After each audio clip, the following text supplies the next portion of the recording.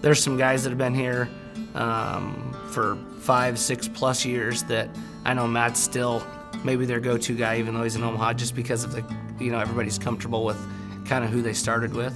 You know, he's taught me a lot over the years, just from starting out as a student to where I am now. Um, I've taken a lot of what he's given me, and I still use that today. Uh, very level-headed, and he, he wears a lot of hats as well. The one thing I appreciate most about Matt is his communication. Like he can talk to anybody. Great personality, great sense of humor. One of the wittiest guys I know. He's efficient, he has great leadership skills. One of the smartest guys I know, and, and just have a great relationship with Matt.